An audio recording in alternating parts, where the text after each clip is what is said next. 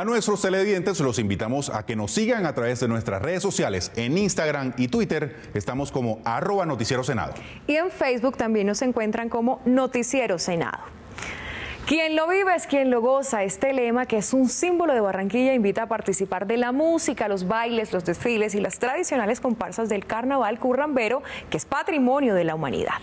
Y precisamente por esos días de carnaval, los barranquilleros le rinden un homenaje a su novia, Estercita Forero, en los 100 años de su natalicio. Desde el Senado de la República se exaltó la memoria de la compositora de Mi Vieja Barranquilla, Luna Barranquillera y volvió a Juanita. Y precisamente con la alegría del carnaval de Barranquilla los invitamos a ustedes a que continúen viendo el noticiero del Senado en nuestra próxima emisión.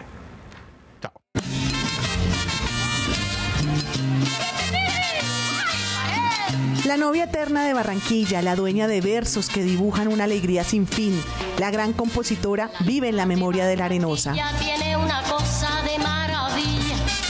La luna de Estercita Forero fue la clara estampa de la idiosincrasia del Caribe y la alegría de un carnaval que se rinde a sus pies este 2019 en el centenario de su natalicio. Estercita Forero es un símbolo para la ciudad de Barranquilla, para nuestro carnaval. Yo creo que estamos llamados a hacerle un gran homenaje nuevamente a Estercita Forero en nuestra ciudad capital.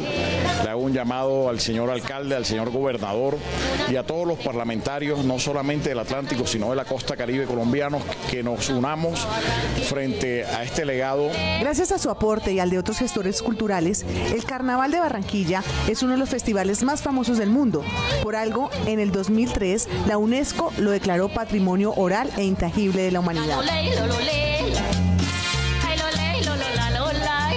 Por iniciativa de la novia de Barranquilla, en 1974 fue rescatada la tradición de los desfiles nocturnos con cumbiambas y tamboras.